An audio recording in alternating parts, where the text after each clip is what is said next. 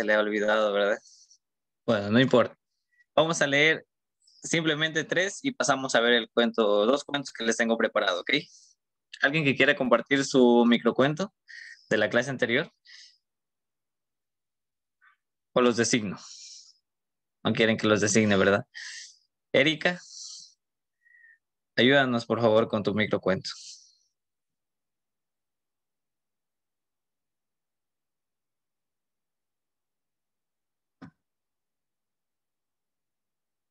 El túnel de los arcados. Esa es eh, leyenda, ¿cierto? No me equivoco de, los lojanos. La vez pasada, en la clase pasada, en donde habíamos hablado del microcuento, este, como actividad final, los chicos crearon un, un microcuento y solo dos avanzamos a leer, dos de los compañeros. ¿Cómo estás, Alfredo? Hola, buenas tardes. Eh, Erika, ¿nos ayudas? Erika Hurtado. Mm, yo puse sobre el viaje. Eh, la abrazó y jamás volvió a alejarse de ella. Ya, muy bien, Erika. Ya, algún compañero, John tal vez, Iván.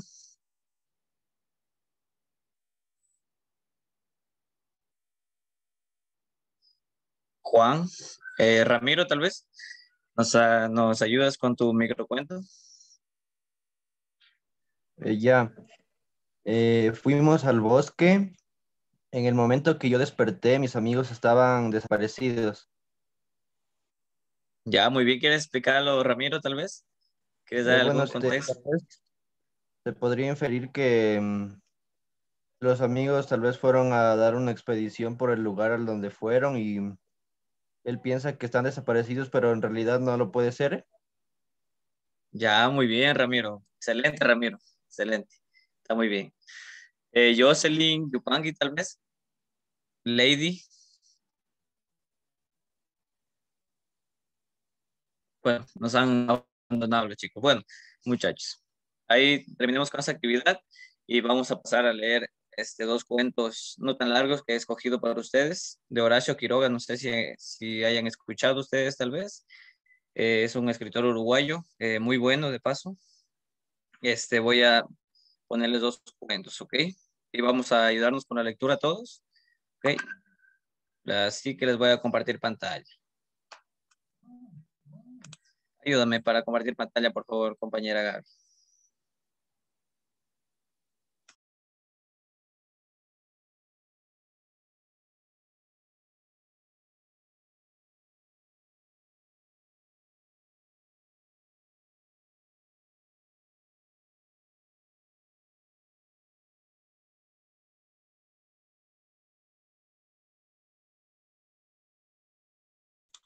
Eh, Gabriela.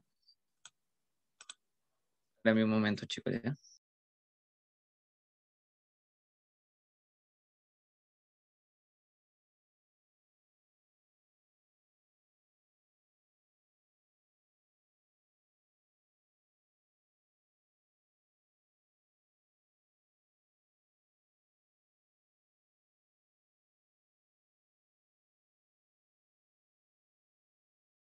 Eh, no.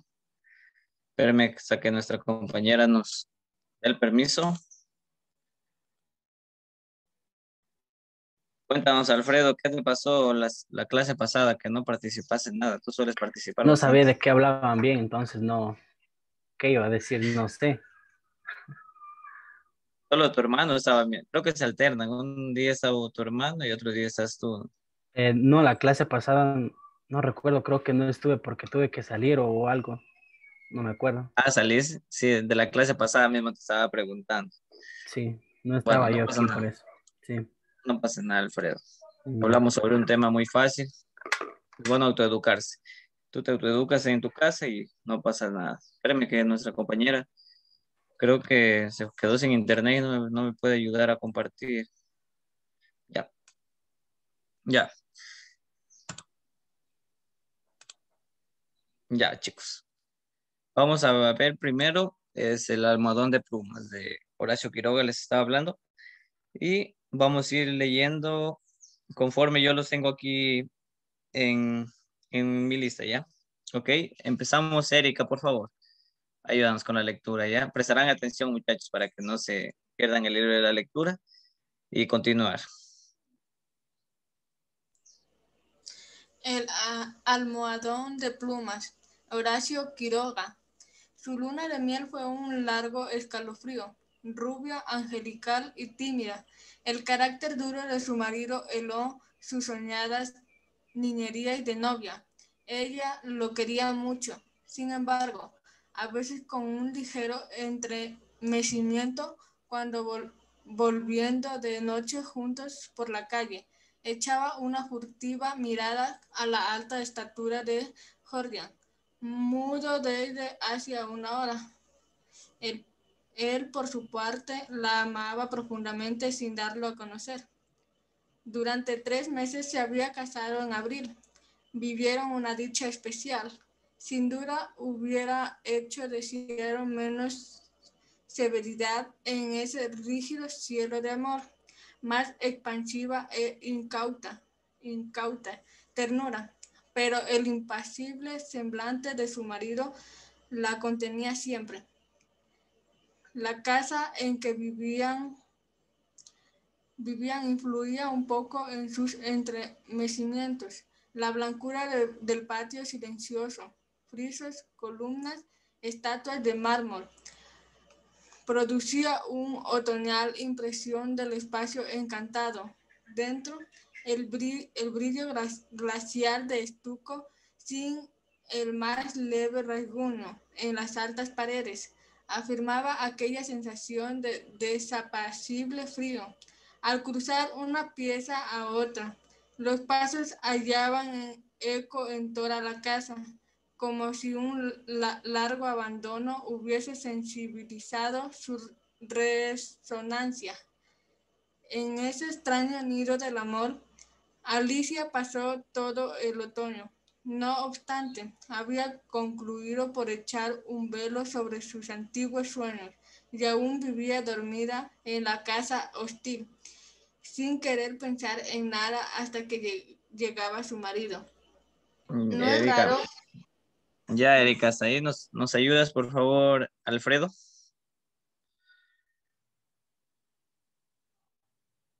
No es raro aquí.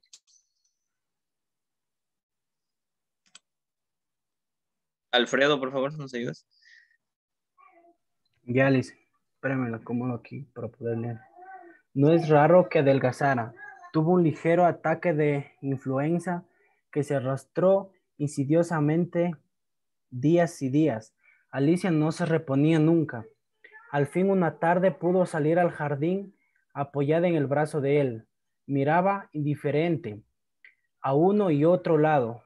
De pronto Jordan, con honda ternura, le pasó la mano por la cabeza y Alicia rompió enseguida el solloz, en sollozos, en sollozos, echándole los abrazos al cuello. Lloró, lloró largamente todo su espanto callado, redoblando el llanto a la menor tentativa de caricia. Luego los sollozos fueron retardándose y aún, y aún quedó largo rato escondida en su cuello, sin moverse ni decir ni una palabra. Fue ese último día que Alicia tuvo, estuvo levantada. Al día siguiente amaneció desvanecida. El médico de Jordan la examinó con una atención ordenándole calma y descanso absolutos. No sé, le dijo a Jordan en la puerta de la calle, con la voz todavía baja. Tiene una gran debilidad que no me explico y sin vómitos nada. Si mañana se despierta como hoy, llámeme enseguida. Eh, muchas gracias, Alfredo. ¿Se puede continuar tu hermano? Al otro día. Al otro día Alicia seguía peor. Hubo consulta, constatóse, constatóse una anemia de marcha agudísima, completamente inexplicable. Alicia no tuvo más desmayos, pero sí iba visiblemente a la muerte. Todo el día El, dormitorio estaba con las luces prendidas y, el y en pleno silencio. Pasa, pasábanse las horas sin oír el, menor ruido. Alicia dor- dormitaba. Jordán vivía casi a la sala, también con otra, con toda la luz encendida, paseábase sin cesar de un extremo a otro, con in- incansable obstinación. La alfombra ahogaba sus pasos, a ratos entraba al dormitorio y perseguía su nudo vaivén a lo largo de la cama, mirándose a mirando a su mujer cada vez que caminaba en su dirección. Pronto Alicia comenzó a tener alucinaciones, confusiones y flotantes al principio, y, y que descendí- descendieron luego a ras del suelo. La joven con los ojos des- des- desmesuradamente abiertos no había sido, no había, no hacía sino mirar la alfombra a uno y otro lado del respaldar de la cama. Una noche se quedó de repente mirando fijamente, al rato abrió la boca para gritar y sus narices y labios se, se perlaron de sudor. Jordán, Jordán, clamó rígida de espanto, sin dejar de mirar la alfombra. Jordán corrió al dormitorio y al ver y al verlo aparecer, Alicia dio un alarido de horror. Soy yo, Alicia, soy yo. Alicia lo miró con extravio, miró la alfombra, volvió a mirarlo y después de largo rato de estu- es- estupefacta confrontación, se, cero- se serenó, sonrió y tomó las suyas, tomó entre la- las suyas la mano de su marido, acariciándola temblando. Entre sus alu- alucinaciones más, prof- más porfiadas hubo un, un antropoide apoyado en la alfombra sobre los dedos que tenía fijos en ellos los ojos. Eh, muchas gracias. Eh, ¿Me das tu nombre, por favor? Porque solo consta el de Alfredo. Gerardo Plasencia. Ya, Gerardo. Muchas gracias, Gerardo. Este, continuamos, Ramiro, por favor. Ramiro Pin. Ya. Los médicos volvieron inútilmente. Ha- Había allí delante de ellos una vida que se acababa, desangrándose día a día, hora a hora, sin saber absolutamente cómo. En la última consulta de Alicia yacía un estupor mientras ellos, ellos la pulsaban. Pasándose de uno a otro la muñeca inerte, la observaban largo rato entre silencios y siguieron al comedor. Pues se encogió los hombros, desa- desalentando a su médico.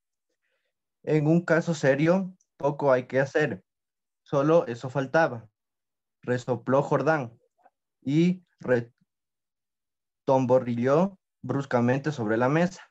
Alicia fue extinguiéndose de su delirio de anemia, agravando, agravado de tarde, pero que remitía siempre en las primeras horas.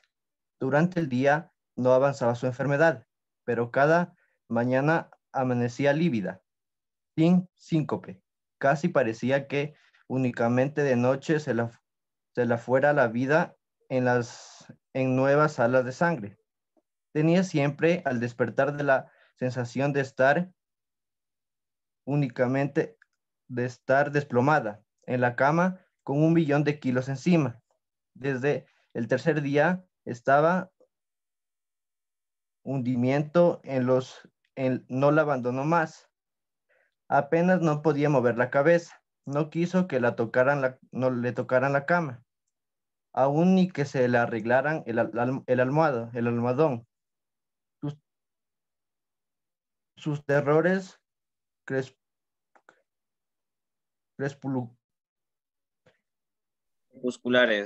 cres- cres- crepusculares avanzaron en forma de monstruos que la arrastraban hasta la cama y rep- repan, repa, repablan discultosamente por la colcha. Per- Muchas gracias, Ramiro. luego el conocimiento. Continuamos, este, Rosa, Rosa Vargas. Perdió luego el conocimiento. Por favor. Perdió luego el conocimiento. Los dos días finales deliró sin cesar a media voz. Las luces continuaban fúnebremente encendidas en el dormitorio y la sala. En el silencio agónico de la casa no sabía más que el delirio mon- monótono que, salía de la cama y el rumor ahogado de los eternos pasos de Jordan. Alicia murió, por fin. La sirvienta, que entró después de a deshacer la cama sola, ya miró un rato extrañada el almoha- almohadón. Señor, llamó a Jordan en voz baja. En el almohadón hay manchas de que parecen de sangre. Jordan se acercó rápidamente y se dobló y se dobló a su vez, efectivamente, sobre la funda. A ambos lados del, hue- del hueco que había dejado la cabeza de Alicia se veían manchitas, manchitas oscuras. Parecen picaduras, murmuró la sirvienta después de un rato de inmóvil observación. "Levan- levántelo a la luz, le dijo Jordan. La sirvienta lo levantó, pero enseguida lo dejó caer y se quedó mirando a aquel, lívida y temblando. Sin saber por qué, Jordan sintió que los caballeros se le erizaban. ¿Qué hay? murmuró con la voz ronca. Pesa mucho, articuló la sirvienta sin dejar de temblar. Jordan lo levantó, pensaba extraordinariamente. Salieron con él y sobre la mesa del comedor Jordan con- contó, cortó funda y, y envoltura de un trajo. Las plumas superiores volaron y la sirvienta dio un grito de horror con, toda la boca abierta, llevándose las manos crispadas a los bandos. Sobre el fondo, entre las plumas, moviendo lentamente las patas velludas, había un animal monstruoso, una bola viviente y viscosa. Estaba tan hinchado que apenas se le pronunciaba la boca. Noche a noche, desde que Alicia había caído en la cama, había aplicado lijosamente su boca, su trompa, mejor dicho, a las sienes de aquella, chupándole la sangre. La picadura era casi imperceptible. La remolición diaria del almohadón había impedido sin duda su desarrollo, pero desde que la joven no pudo moverse, la succión fue vertigi- vertiginosa. En cinco días, en cinco noches, había vaciado a Alicia. Estos parásitos de las aves, diminutos en el medio habitual, llegan a adquirir en ciertas condiciones proporciones enormes. La sangre humana parece serles particularmente favorables y no es raro hallarlos en los almohadones de pluma. Muchas gracias, Rosa. Eh, ¿Qué les ha parecido, muchachos, esa lectura? Si bien les dije que era un cuento corto, no era tan largo. ¿Qué les ha parecido? ¿Sí le prestaron atención? Sí, Rosa, ¿a ti qué te ha parecido con ese final? Me Alfredo. Sí, ¿no es cierto? Un poco, un poco, digámosle, un poco grotesco, ¿no es cierto? Por la forma en que muere Alicia, ¿verdad? Como un animal tan pequeñito la pudo, la pudo matar en cinco días y en cinco noches, ¿no es cierto? ¿Qué más pudieron ver acerca del, del cuento? ¿Qué les pareció? Hay un, hay un video acerca de este, de este cuento que ya les voy a hacer ver al final y van, vamos a hacer un ejercicio en casa, ¿ok? Aparte de, de hacer otra lectura. Ok, vamos a leer otro. Listo. Es La gallina degollada, el mismo autor, ¿ok? ¿Cómo quedamos donde Rosa? Gra- muchas gracias, Rosa. Empezamos con Rocío. Rocío Espinosa. Irán siguiendo la lectura, ¿ok? Para al La final hacer un ejercicio. Horacio Quiroga. Todo el día, sentados en el patio, en un banco estaban los cuatro hijos idiotas del matrimonio Mazzini Ferraz.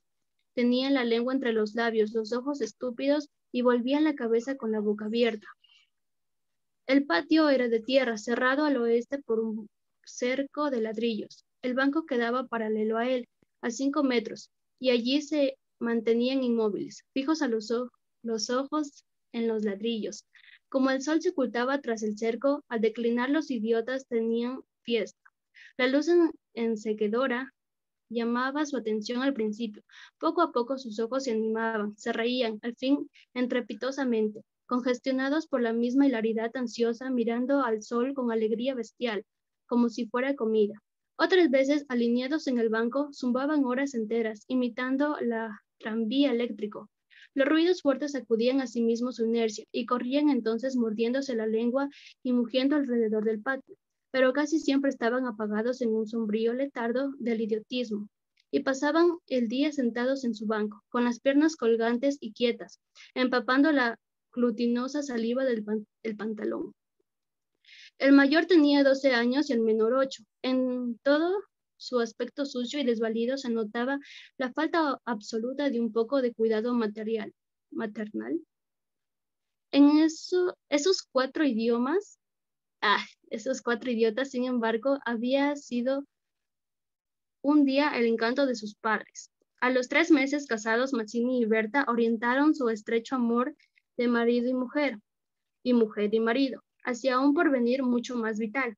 Un hijo que mayor dicha para los dos enamorados de esa honrada consagración de su cariño, libertado ya de vil egoísmo de un mutuo amor sin fin ninguno, y lo que es peor, para el amor mismo, sin esperanzas posibles de renovación.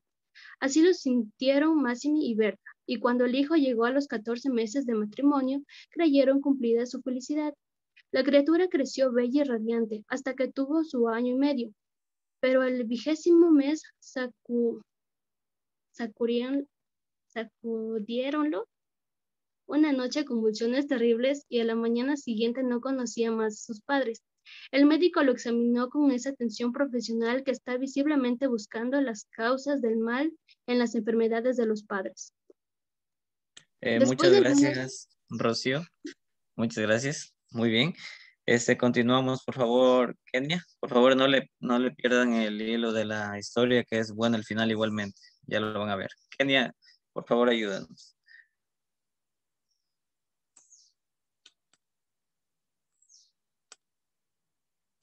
Mm. Creo que no sirve su micrófono, así que pasamos. Este, John, por favor. John Gutiérrez. Mm, ya. Ya, después de algunos días los miembros paralizados recobraron el movimiento, pero la inteligencia, el alma, aún el instinto se había ido del todo. Había quedado profundamente idiota, baboso, colgante, muerto para que siempre sobre las rodillas de su madre. Hijo, mi hijo querido, sollozaba ella, está sobre aquella espantosa ruina de primogénito. El padre, desolado, acompañó al médico afuera.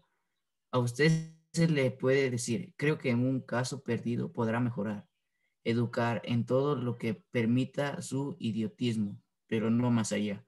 Sí, sí, asentía Massini. Pero dígame, ¿usted cree que es herencia que en cuanto a la herencia, en cuanto a la herencia patema, le dije que creía cuando vi a su hijo. Respecto a la madre, hay ahí un pulmón que no sopla bien. No veo nada más, pero hay un soplo un poco rudo.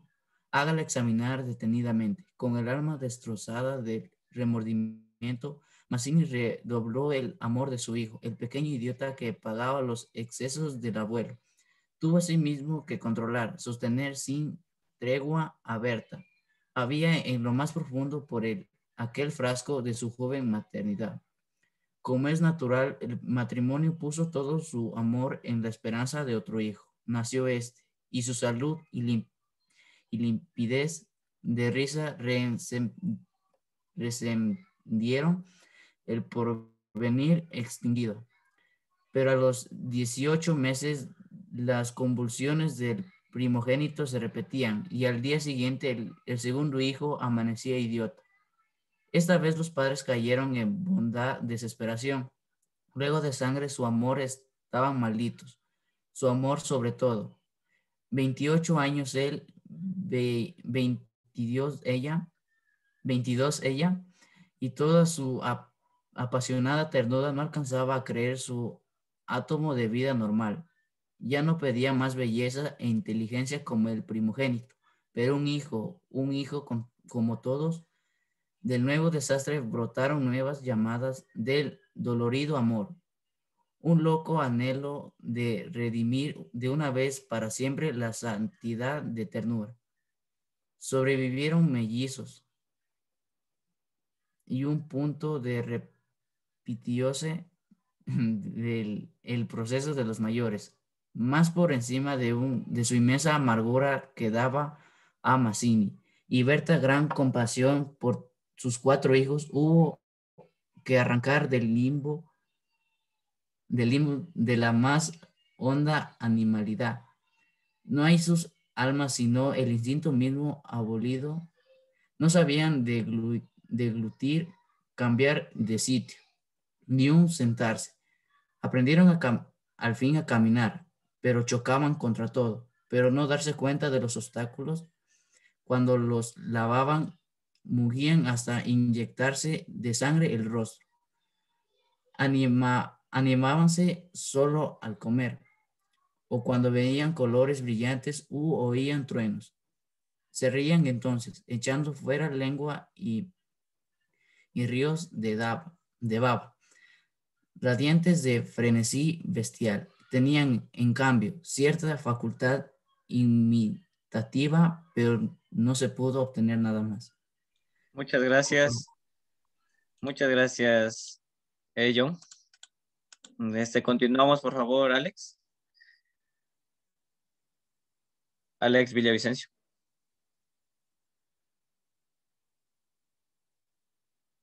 Eh, Jocelyn, tal vez. Jocelyn Yupangi. Ya, espérame, Lisa. Ya, bueno. Con los con los mejillosos pareció haber concluido la aterradora descendencia, pero pasados tres años desearon de nuevo ardientemente otro hijo. Confiando en que el largo tiempo transcurrido hubiera aplacado a la fatalidad, no satisfacían sus esperanzas y en ese ardiente anhelo que se exasperaba en razón de infructuosidad se agriaron, se agriaron. Hasta ese momento, cada cual había tomado sobre sí la parte que, le correspondía en la, miseria de sus hijos. Pero, pero la desesperanza de redención ante los cuatro bestias que habían nacido de ellos echó fuera de impreciosa necesidad de culpa, de culpar a los otros, que es patrimonio específico de los corazones inferiores. Iniciándose con el cambio de pronombre, tus hijos, y cómo amas, cómo amas del insulto había la incidencia. La, la atmósfera se cargaba, perdón. Em, me parece di,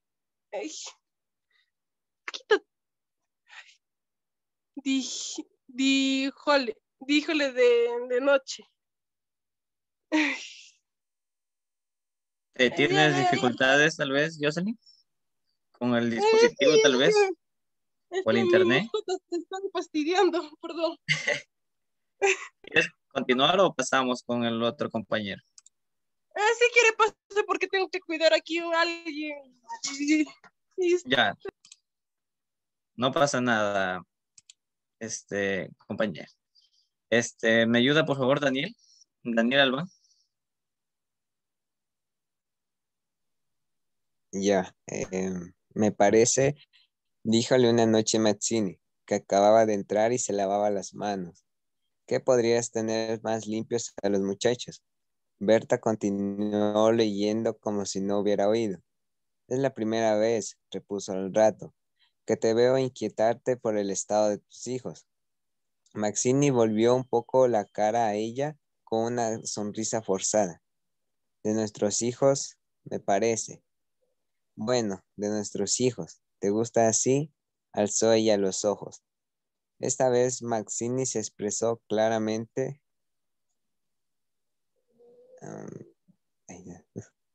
Creo que no vas a decir que yo tengo la culpa, ¿no? Ah, no, se sonrió Berta muy pálida. Pero yo tampoco, supongo. No faltaba más, murmuró. ¿Qué no faltaba más? Que si alguien tiene la culpa, no soy yo, entiéndelo bien. Es lo que te quería decir. Su marido la miró un momento con brutal deseo de insultarla. Dejemos, articuló, secándose por fin las manos. Como quieras, pero si quieres decir. Berta, como quieras. Este fue el primer choque y le sucedieron otros. Pero en las inevitables conciliaciones, sus almas se unían con doble arrebato y locura por otro hijo. Nació así una niña. Vivieron dos años con la angustia a flor de alma, esperando siempre otro desastre. Nada acaeció, sin embargo, sin, nada acaeció, sin embargo, y los padres pusieron en ella toda su complacencia, que la pequeña llevaba a los más extremos límites del mimo y la mala crianza. Si aún en los últimos tiempos Berta cuidaba siempre de sus hijos, al nacer Bertita olvidóse casi del todo de los otros. Su solo recuerdo la horrorizaba como algo atroz que la hubieran obligado a cometer. A Mazzini, bien que en menor grado, pasábale lo mismo.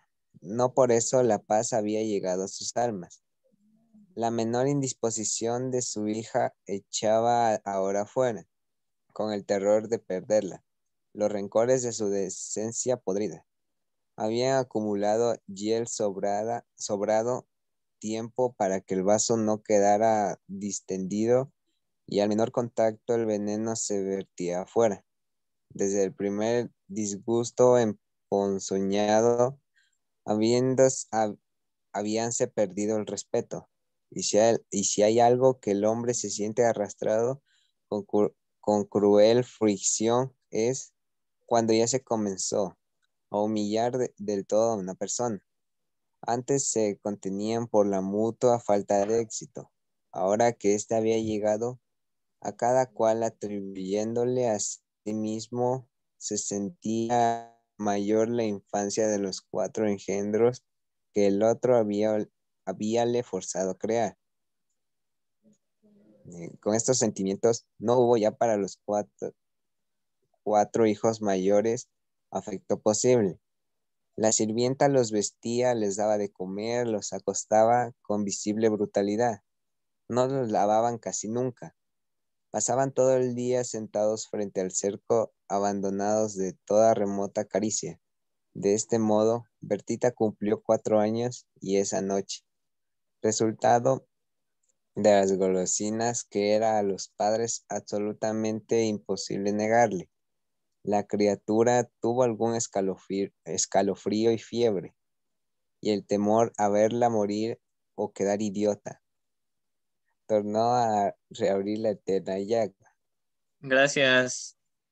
Muchas gracias. Daniel. Este, ahora sí nos puedes ayudar, Alex. Alex Villavicencio. Ya listo. Hacía. Hacía tres horas que no hablaban. En el motivo fue, como casi siempre, las fuertes, los, los fuertes pasos de Maxine. Mi Dios, ¿no puedes caminar más despacio? ¿Cuántas veces? Bueno, es que no me olvido, se acabó. No lo hago a propósito. Ella se sonrió diseñosa.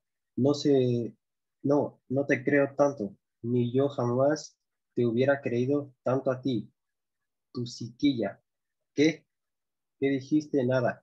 Si te oí algo, mira, no sé lo que, lo que dijiste, pero te juro que prefiero cualquier cosa a tener un padre como el que has tenido a tú. Maxine se puso pálido. Al fin murmuró, al fin murmuró con los, con los dientes apretados. Al fin, al fin, víbora, has dicho lo que quería. Sí, víbora, sí, pero yo he tenido padres sanos. ¿Oyes? Sanos. Mi, mi padre no, no ha muerto de delirio. Yo hubiera tenido hijos como los de todo el mundo. Esos son hijos tuyos, los cuatro tuyos. Maxine exportó a su víbora física. Eso es lo que, lo que te dije.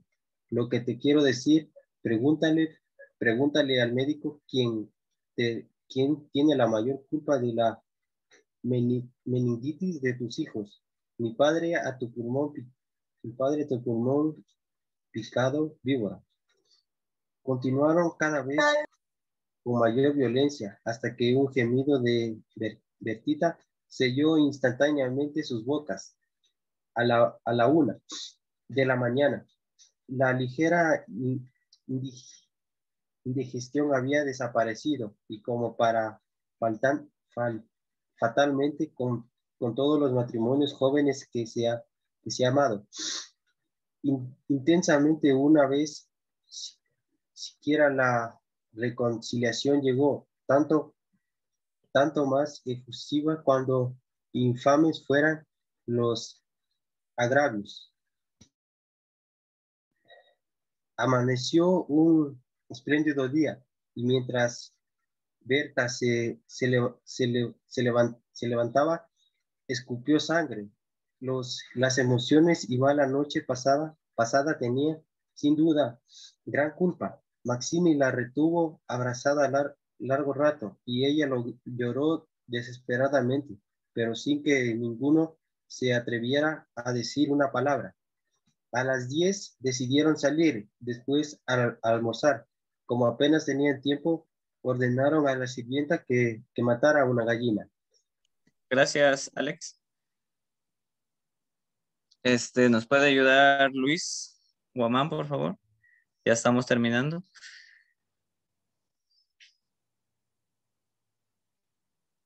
Mm, Wilfrido, tal vez.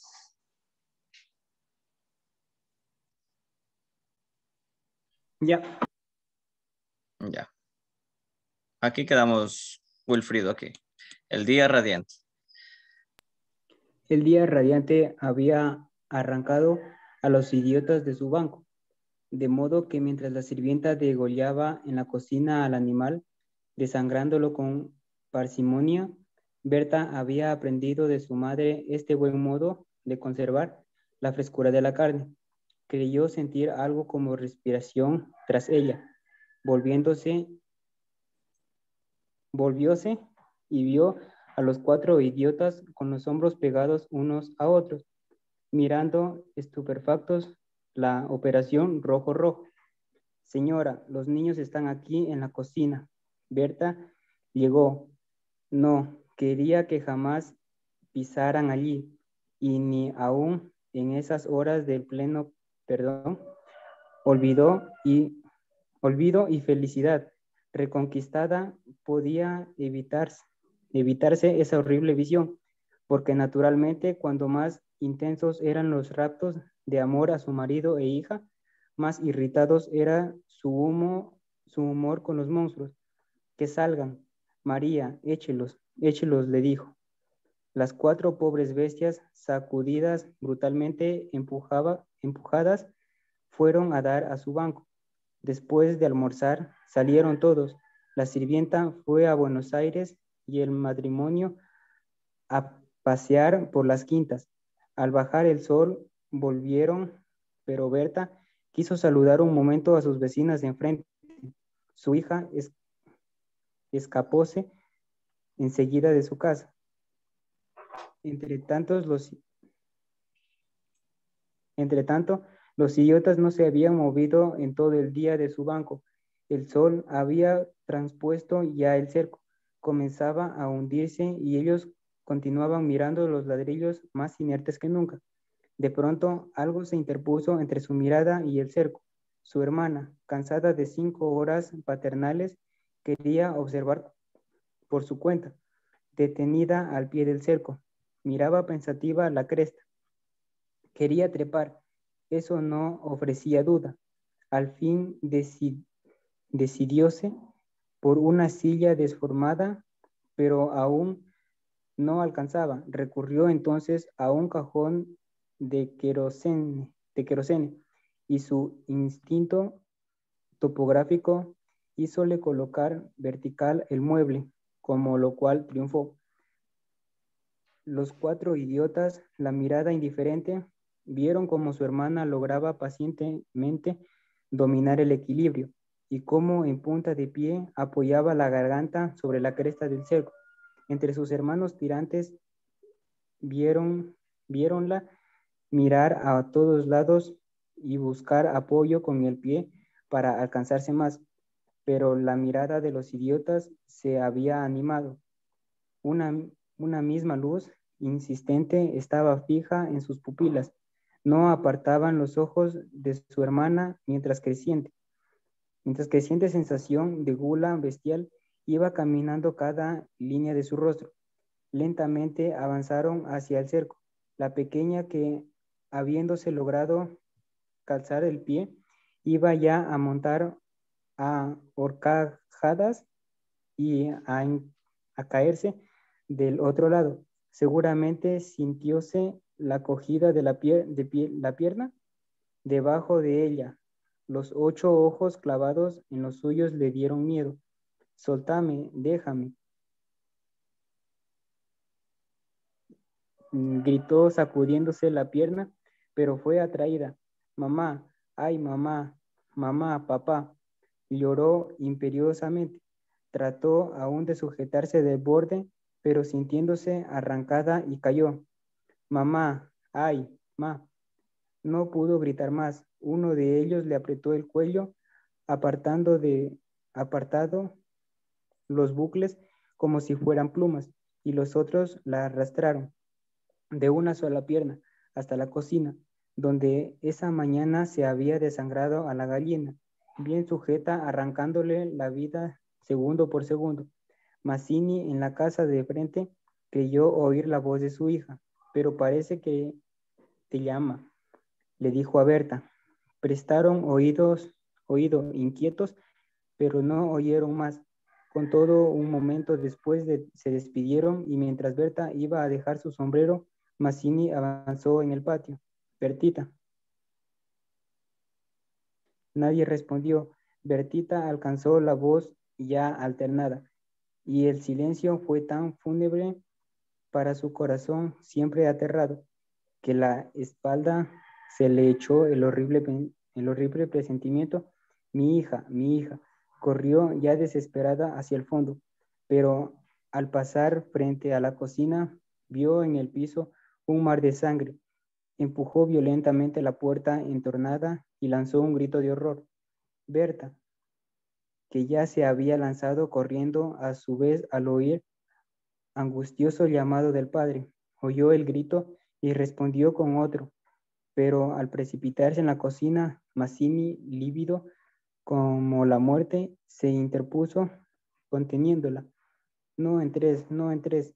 Berta alcanzó a ver el piso inundado de sangre, solo pudo echar sus brazos sobre la cabeza y hundirse a lo largo de él, como un ronco suspiro.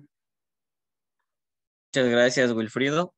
Este, bueno, muchachos, esos son los dos cuentos muy interesantes, ¿no es cierto? ¿Qué les pareció? ¿Qué les pareció el final? Horacio Quiroga siempre hace esos finales tremendos, ¿verdad? Al final sí estuvo un poco largo, pero el final fue un poco brusco, de paso. Bien, esta es la actividad, muchachos, que vamos a realizar. Eh, ¿Se acuerdan el primer cuento, no? El almohadón de plumas. Ya. La, actividad, la actividad que vamos a realizar, vamos a realizarla para la próxima clase, ¿ok? Hacer una mini tarea igualmente. Eh, verán, este, leen de nuevo este cuento, el cortito, el almohadón de plumas, ya les envío el link ahora mismo en el chat. Y este quiero que igualmente les voy a les voy a enviar el link de un video y quiero que, que los comparen y que me digan qué no se dice en el video y qué se dice en el cuento, ¿ok? Verán, ya les voy a pasar, ya les envié el link aquí al chat de, de Zoom del cuento. Ahora les voy a enviar en mi momento.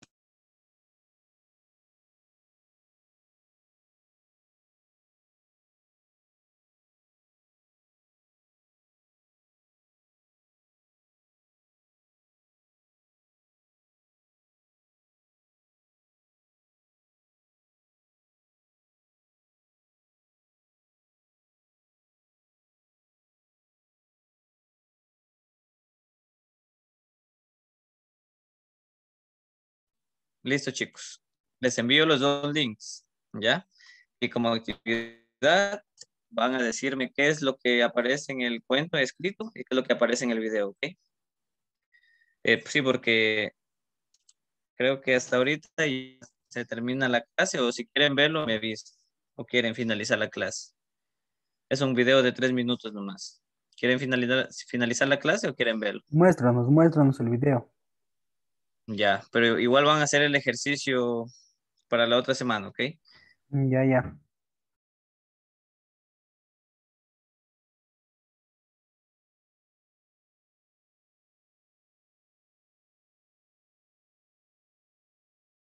Eh, me confirman si lo escuchan, chicos, ¿ok?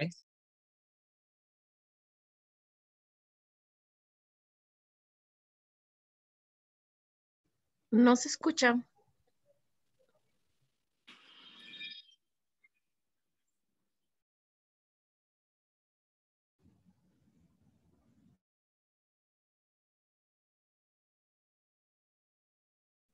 ¿Pusiste la opción de compartir con sonido, Chris?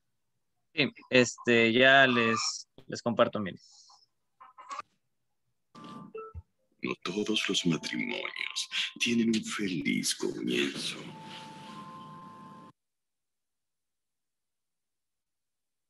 Eh, ¿Pudieron escuchar? Sí, sí. Sí, Eh, ahora sí. Chicos, por favor, prendan la cámara para hacer captura mientras vemos el video.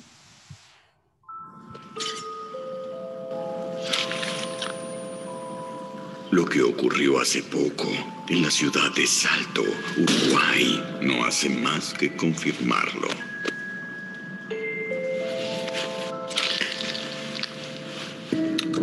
Ambos se amaban profundamente, pero a él le costaba demostrarlo. La profunda tristeza que invadió a la mujer hizo que a los pocos días enfermase de una gripe que la debilitó.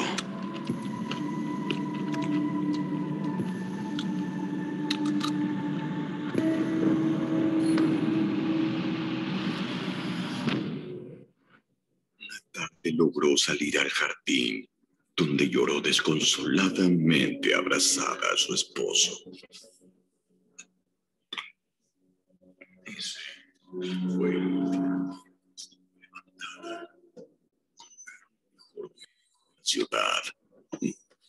Pero de nada sirvió. No sé qué le sucede. Sufre de una anemia agudísima, inexplicable. Su debilidad empeoró. Apenas podía mover la cabeza y sufría alucinaciones de monstruos que se arrastraban hasta la cama. Nadie ni nada pudo ayudarla. Y para desesperación del esposo, la mujer finalmente murió. Cuando la empleada doméstica entró a la habitación a deshacer la cama, vio extrañada el almohadón. Señor, señor, en el almohadón hay manchas que parecen sangre. Levántelo a la luz. Pesa mucho.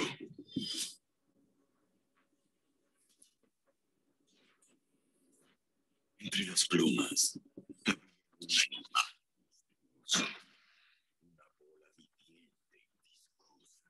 estaba tan hinchado, se le pronunciaba la boca.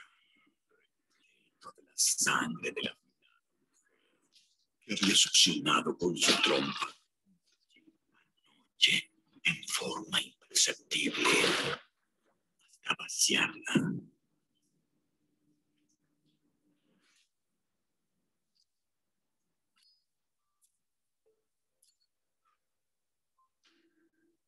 Estos parásitos de las aves, diminutos en el medio actual, llegan a adquirir en ciertas condiciones proporciones enormes.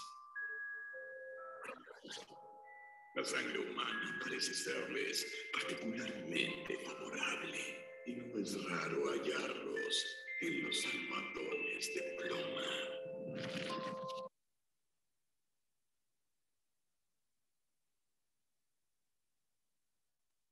Esto, chicos, este, con eso concluimos la clase. Es, verán que ya les envié el link a los, aquí en el chat.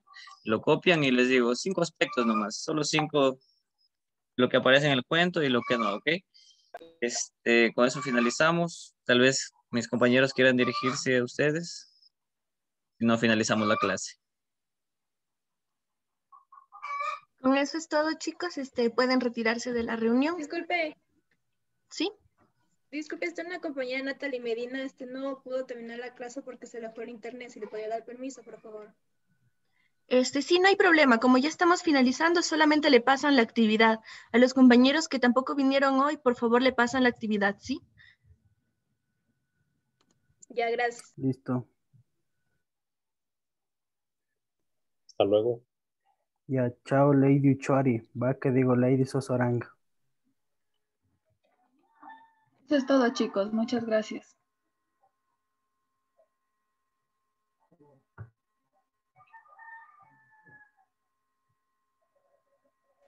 Disculpe, eh, se, me, se me fue el internet y ya regresó.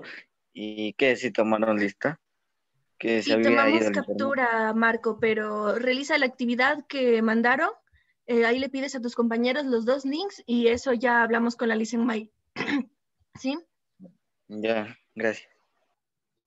Dicen también con una compañera que también tuvo una emergencia, entonces por eso se tuvo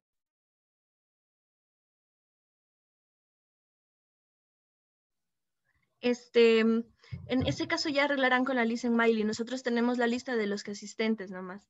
Gracias. Chao, Gaby. Oye, espera, espera. Le le voy a decir a Vane que vuelva a entrar para poder hablar un ratito. Ya, pues. Voy a dejar de grabar.